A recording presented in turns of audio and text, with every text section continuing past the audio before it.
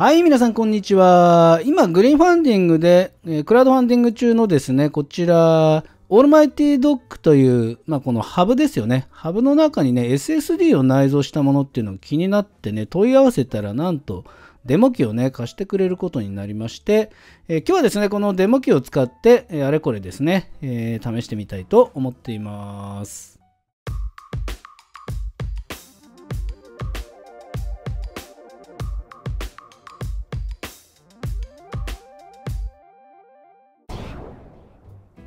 はい、ということで、えー、こちらね、デモ機です。えー、オールマイティドック CS1480GB ということでね、これはシルバーの色みたいですけどね、えー、ブランドはチューンウェアというフォーカルポイントのオリジナルブランドとなっています。で、ポートの方ね、これ文字見えますかね ?USB-C PD って、まあ、これは電源につなぐポートで、あとはね、これ HDMI 4K、そして USB3.0 が2機というね、まあそんな構成になっておりますけどね。あとね、スペースグレーもあるみたいですけどね。で、重さの方、こちらが、はい、78g ですね。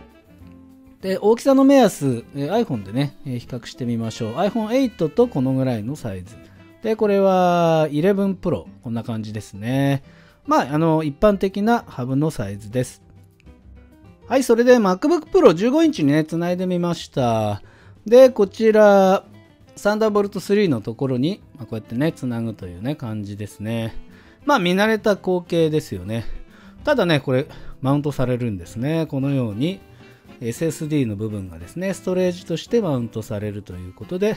で今回ね、480GB のやつをね、えー、まあ、サンプル機でね、借りていますから、えー、今ね、空っぽになっていますけどね。で、まあ、これ、何を入れてもね、いいんですけども、まあ、転送速度ね、気になりますよね。で、こちらディスクスピードテストでやってみると、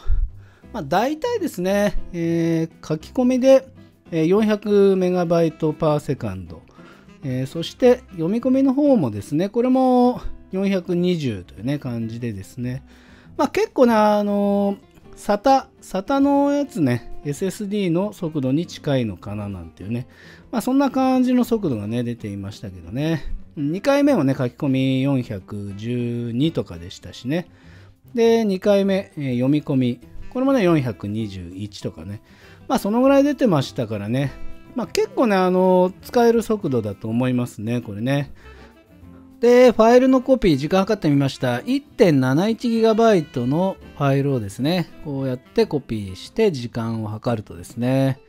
で、あっという間にね、スーッといっちゃいまして、4秒05ぐらいだったんですよね。だからこれ計算すると大体、まあ、割り戻して 1GB あたり2.35秒ぐらいというね感じでですね、まあ、結構ねあのかなりね速い速度で快適に使えるんじゃないかと思います。で電源の方ですねでこちら、まあ、この電源アダプターからのケーブルをここにね挿すことができますね。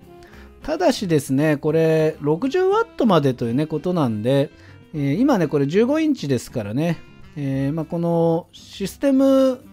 レポートのね、ところで言うと 60W 認識でね、来ておりますけども、えー、まあ、実際この Apple の、え純正の 87W のものがね、え付属してきていますから、まあ、この15インチの場合はやっぱりね、直接つないだ方がいいのかなっていうところで、13インチなんかはね、これを介してつないでもいいと思うんですね。で、15インチの場合は、ここにね、87W という、まあ、認識が出てくるというね、ところですね。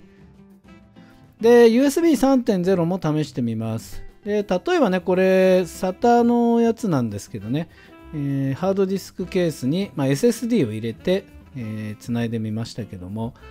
で、これもね、もちろんですけども、まあ、マウントね、されるわけですよね。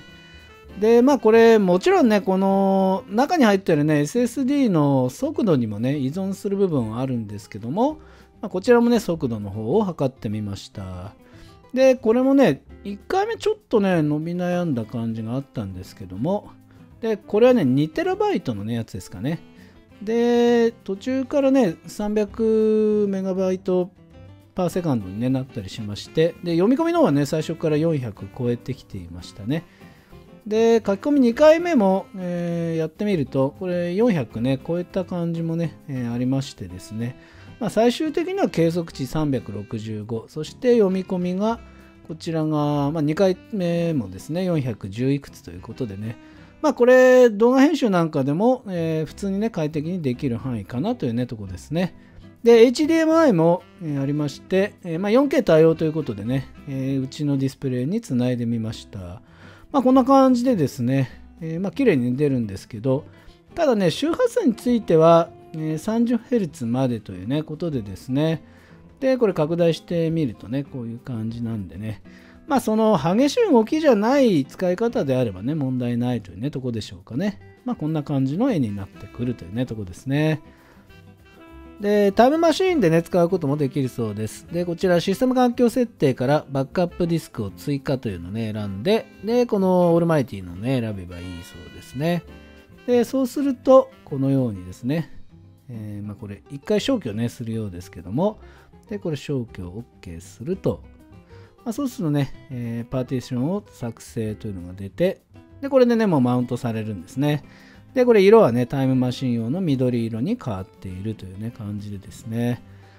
で、こちら試しにね、これ12時ちょうどに、えバックアップを作成してみましたけども、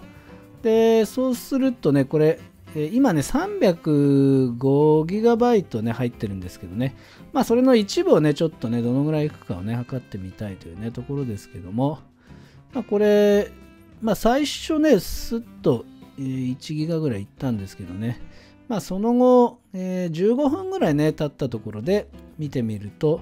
まあ、大体9ギガぐらいね、だったんで、まあ、タイムマシン自体がね、あんまり速くないっていうのもあるんでね、えー、普通のコピーよりは遅い感じでしたかね。で、注意点があります。で、こちら、基本的にはね、これストレージとしてマウントされますからね、えー、取り外す際には、これね、一旦こう、マウントを外してから、えー、抜く必要があるというね、とこですね。で、一つね、残念ポイントがね、ありまして、で、これ一般的なね、ハブって、大体ほら、今、こういう SD カードとかね、マイクロ SD のリーダーあるじゃないですか、リーダーライター。まあ、それがね、今回ないんでね、えー、まあ、読み込む場合はこういった小型のリーダーライターをね用意する必要があるのかなというねところでですねまあこれがね持ち物としてはね、えー、まあ、カメラを読み込む必要のある方はちょっとね、えー、1個増えてしまうというところですね、まあ、ただハブと SSD が合体しているというコンパクトさはあります。で iPad Pro 11インチでも使えます。でまあ iOS から iPadOS に変わってですねまあ、ストレージなども認識するようになりましたので、で今ね、えー、差し込んでみると、あ、これね、ファイルのアプリね、出てきますね。えー、オールマイティっていうね、フォルダーが出てきてますね。で、まあこれ今ね、中身ね、空っぽですけども、えー、確かにね、認識してですね、えー、書き込みもね、できましたけどね。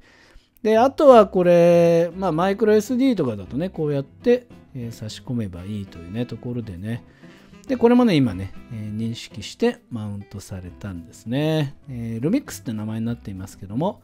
でこちら見ると、確かにね、えー、フォルダーの中に、え、写真のフォルダーがね、入っているというところで、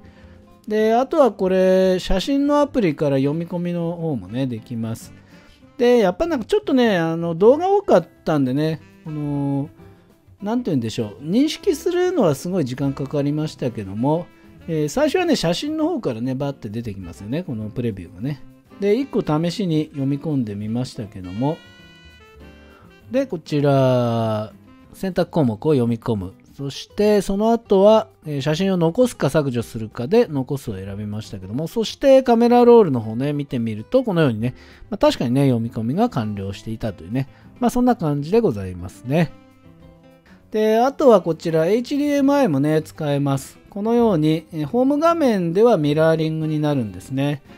で、ホーム画面のね、ミラーリングの場合はこちら、解像度がね、2K になるというね、ところでね、えー、こんな感じです。2048×1152 の 60Hz で、えー、表示されます。で、あとはね、これ、ビデオ、まあ、これは Apple TV プラスですけどね、これの再生中っていうのはですね、